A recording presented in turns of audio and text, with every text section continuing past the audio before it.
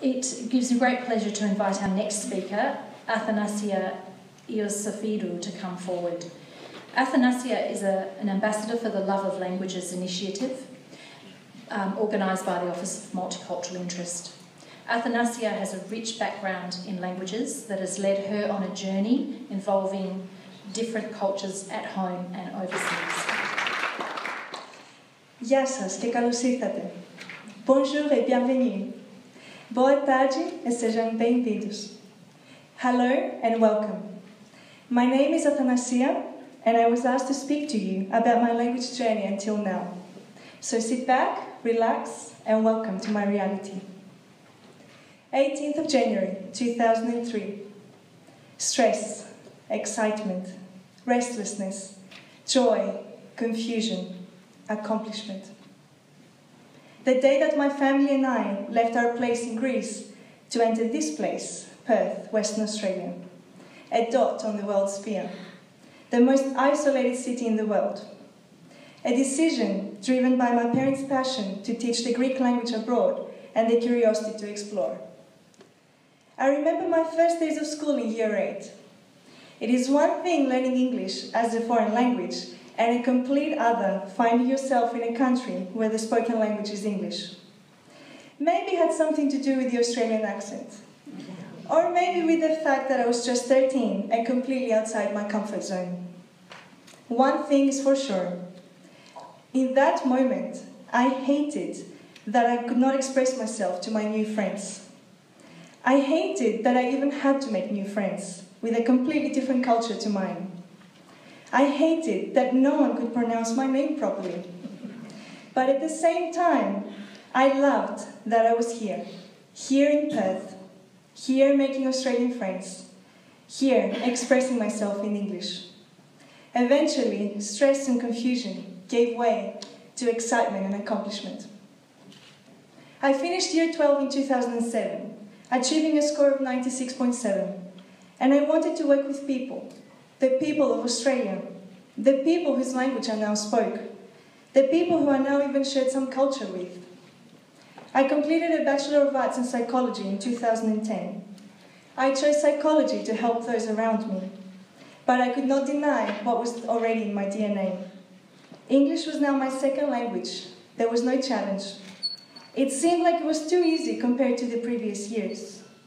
People even started telling me I had an Australian accent. Was it possible? I was back in my comfort zone. I needed to learn another language.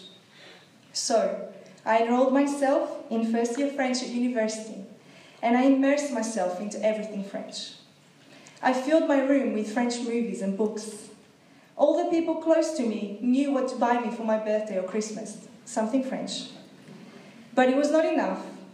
I knew firsthand that learning a language outside the country is not as rewarding or scary as when you do it there.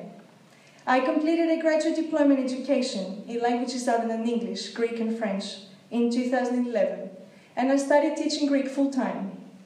But I spent much of my energy dreaming about living in France and speaking French like the French.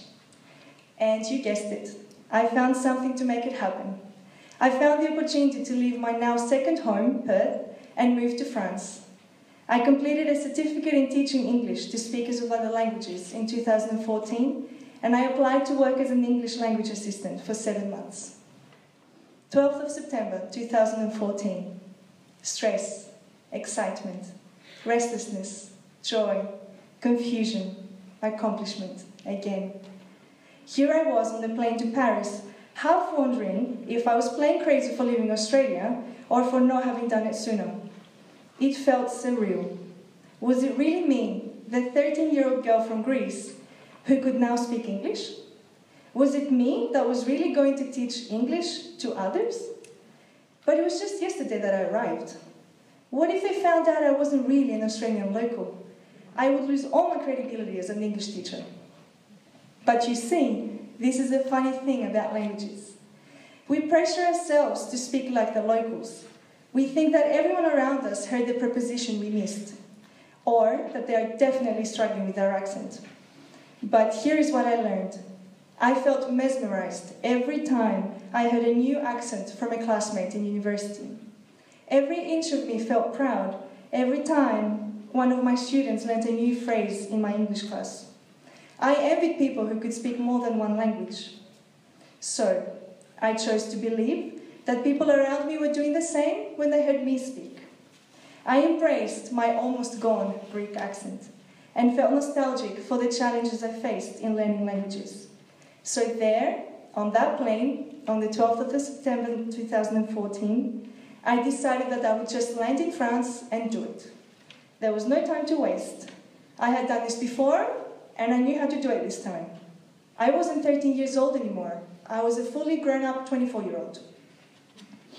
But here's the other thing about languages it doesn't matter how old you are, how many times you've done it before, or how determined you feel. It can be so scary, so intimidating, so frustrating.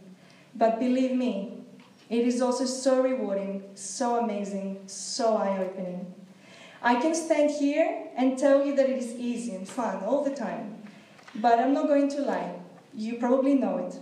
It is hard, but so worth it. It was for these reasons that I stayed in France, I learned French, and I came back to Australia, determined to learn Spanish or Italian or something else. 8th of June 2015. Stress, excitement, restlessness, joy, confusion, accomplishment, once again. I was in Perth and back at work teaching English to adults. I was surrounded by a group of energetic and joy infectious Brazilian students. For those of you who are lucky to have been in this position before, you will know the mesmerizing effect of their attitude to life and their language, Portuguese. Something inside me went off again. I needed to learn this language. What better way to continue my language journey than to make friends at the same time as learning it? And here I am with tickets to go to Brazil in a few months for a holiday, but I'm looking forward to getting a chance to use what I've learned. And a part of me keeps thinking Spanish will definitely be easier after Portuguese. 1st of November 2016. Today. Stress, excitement, honor. I ask myself once again is it really me, the 13 year old girl from Greece, who is speaking to you about learning languages in English? Yes, it is me. And you can do the same too. You can learn a new language. You can go to that other country. Or not, if you don't want to. You can make new friends from another culture. You can communicate with gestures and later with words. You too can take up that language that you've always wanted to learn. You can take your children to Saturday school to maintain their cultural heritage. You can learn a new language and maintain it in your home too. Who knows where that language can take you? It has taken me from Greece to Australia, France, Brazil, and counting. In the huge space of memories, learning a language has only good ones. When the stress and fatigue from our efforts become distant memories, we feel the warmth of our accomplishment. I wonder, how many times in our lives do we ignore parts of our life because all we're looking at is forward to the future? How many times do we not pay attention to the now, to every moment, just because we are focusing on our dream, the long term goal, the success ahead of us? Do we stop and think, and then what? How many times have you told yourself that you will learn a new language next year? I say, do it now. Set sail for a new environment, something unknown, something new, something unexplored. Maintain your grandparents' language, or learn a new one. You have nothing to lose, except your old accent and mindset. Ευχαριστώ πολύ. Merci beaucoup. Muito obrigada. Thank you very much.